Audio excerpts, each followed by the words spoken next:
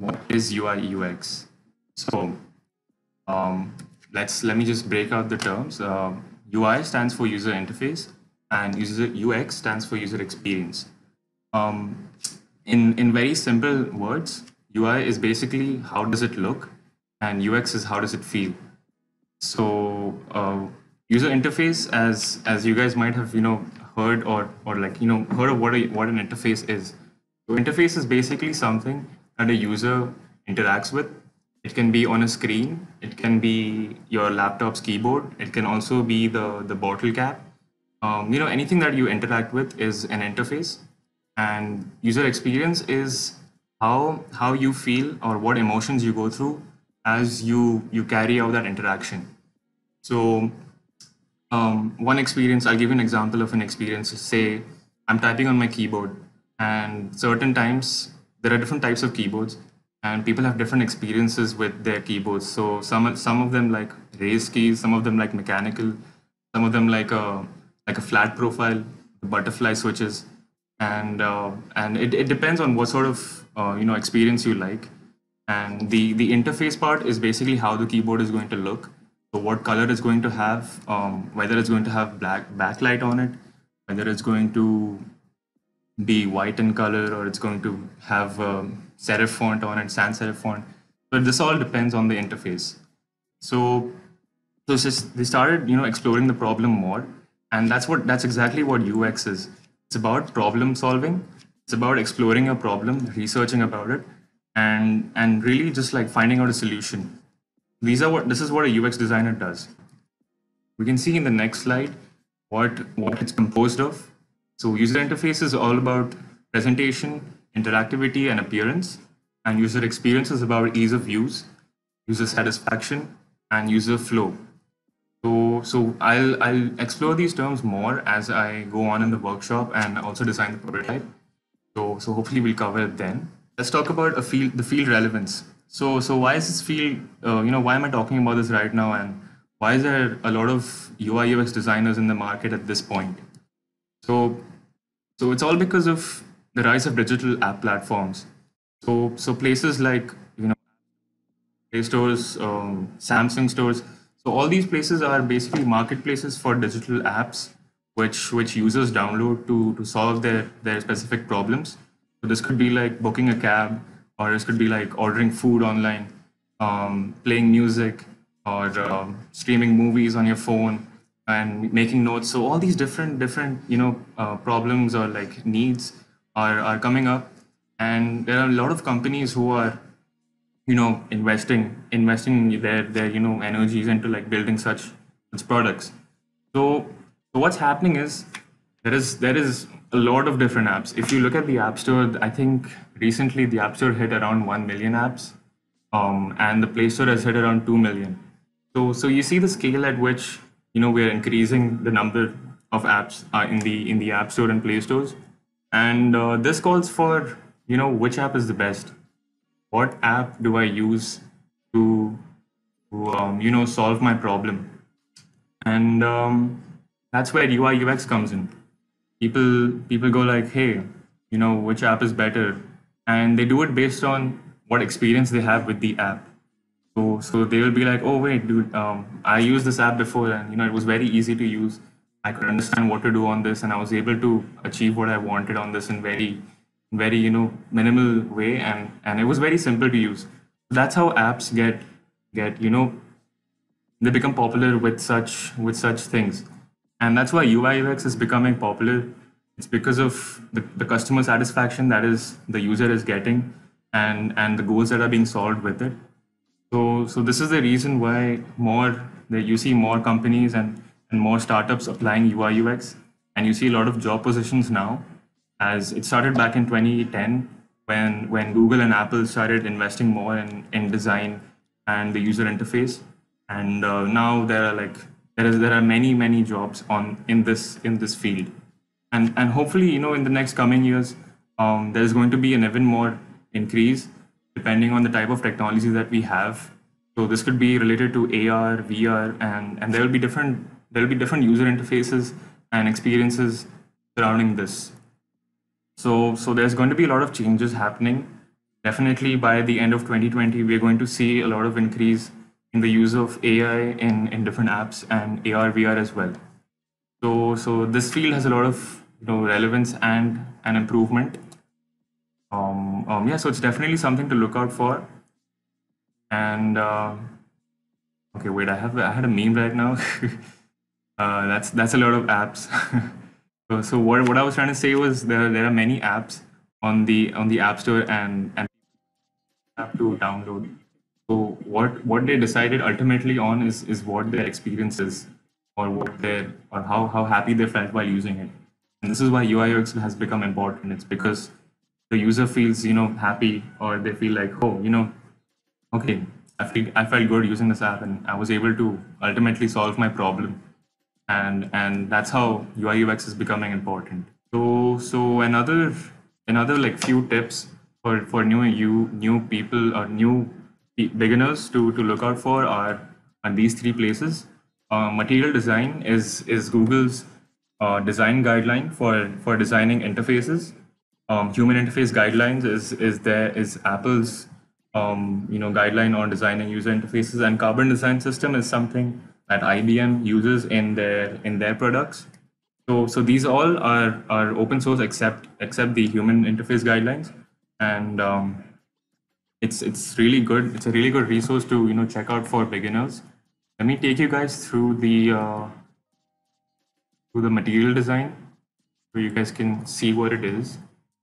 Um, so I'm here, material.io. I put the link in, in the description as well, so you guys can check it out. Um, it's it's a really comprehensive guide on on different types of components and different resources that that UI designers or UX designers need to look out for. Um, it's it's good to be aware of everything.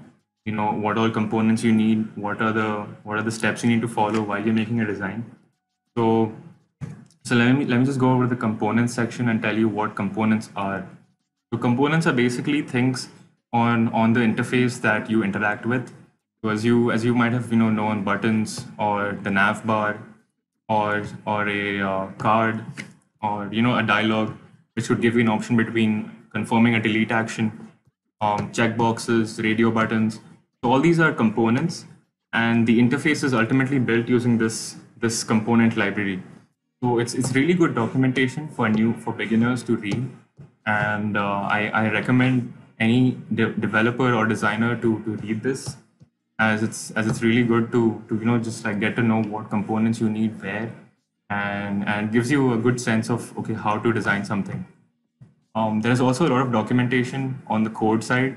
If you go to say um, yeah let's go to the sliders part as well so if you go here it says developer documentation so you can find out how can I get this component on, um, say, Android, the Android platform? So it, it, gives you the code here as well. So it's all it's all available over here. You can you can check it out. Um, even for the other webs, even for the other guidelines, even for human interface guidelines, you can find the the developer components. I'm on the human interface guidelines page here.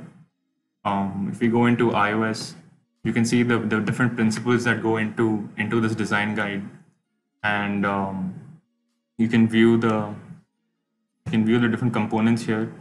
So these are buttons on iOS. This is what buttons look like. Um, you can see what style of buttons are used where. Um, add contact buttons, so it could be a plus inside. And if you click over here for developer guidance, you can see the code that is used behind this sort of um, UI. And this can be used in Swift on Xcode.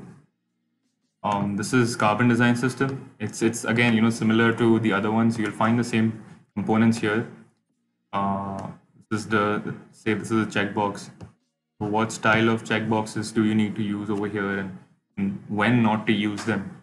So it gives you a difference between the circle style and a square style. The circle one circle one is actually a radio button and it gives you a reason where you only need one object or one item to be selected and checkboxes where more than one items can be selected. So, so these guidelines or these these different uh, you know guidelines created by Google, Apple, and IBM help you you know um, help you decide which component to use where. Another good place for for UI designers to get inspiration from is uh, is Dribbble. So, so Dribbble is basically a, a place for for designers to post their work, and um, the reason why I didn't add it to my list before was because Dribbble doesn't doesn't really tell you why you need something. It, it only focuses on the visual aspect, so it it focuses more on the presentation. So it doesn't tell you okay why you need some sort of uh, UI or or why is it like this. It doesn't give you the reason. And and for beginners, this is not really a good a good place to start because Dribbble also has some designs that uh, that that that break the best practices. And this is this is something that you shouldn't follow. You should always try to go along the best practices as that is what is commonly used and and that is more intuitive and popular. So so Dribbble is another is a good place. Another place is Behance, which is again similar to Dribbble but it focuses more on um, you know why. So so Dribbble was okay what, and this is more about why. So this is for a smart home.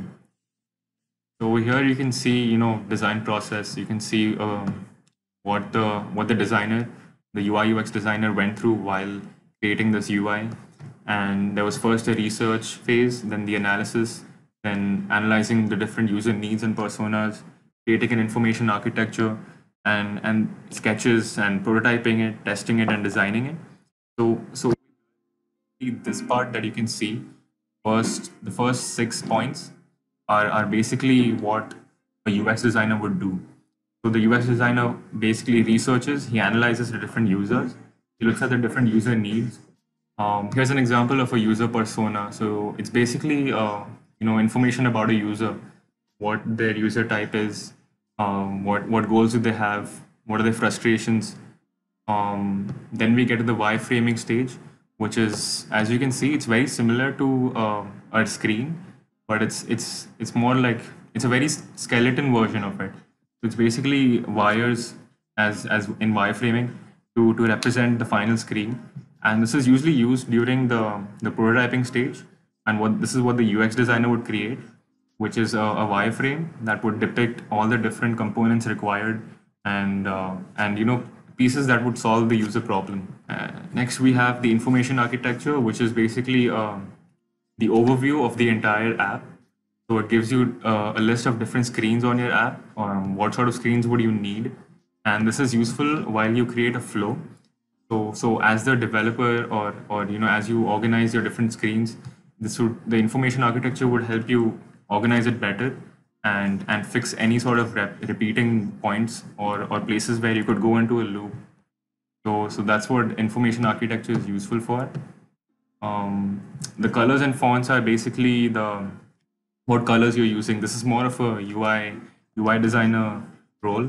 Um, and and sometimes the colors can also depend on your brand. Um, then the fonts fonts is also about the UI. So that's more of a UI designer role where the UI designer decides what sort of fonts or typography do I need to use on the on the user interface. Um, what sort of rounding do I use? Do I use gradients on it? Do I do I make my buttons rounded or do I make them squared? Um, so this is this is whatever the the UI designer would decide. Um, then it's just some screenshots of the app. So that was it for part 1. I hope you guys liked it. In the second part, I'm going to talk about Figma, which is a design tool used for designing and planning interfaces, and give a walkthrough designing a small sign-up flow explaining the basic operations of Figma. Thanks a lot for watching and see you there.